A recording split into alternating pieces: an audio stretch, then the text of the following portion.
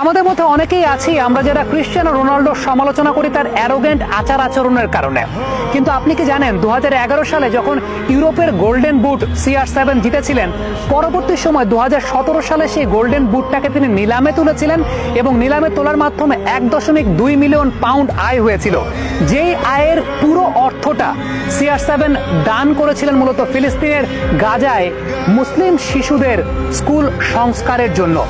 এই যে এই ধরনের আত্মনিবেদনের জায়গাটা কিংবা একজন ফুটবলার তার ফুটবল খেলার বাইরেও এরকম কর্মকাণ্ড করছেন। এগুলো কিন্তু প্রত্যেকের জন্য একটা অনুকরণীয় দৃষ্টান্ত। শুধুমাত্র রক্তদানের জন্য।